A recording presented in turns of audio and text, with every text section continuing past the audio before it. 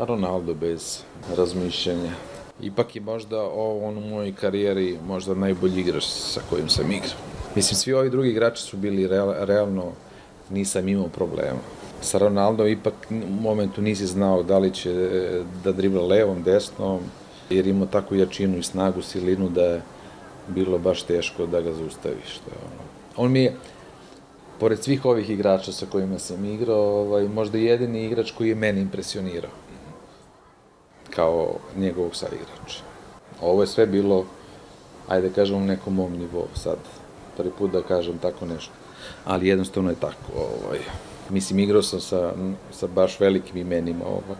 Mislim da sam zasluženo bio tamo i da sam pripadao svim ovim timovima, jer eh, manje više u svakom timu ovaj, stizali smo do nekog finala, polufinala i, i bio sam neki nezamenjiv šraf.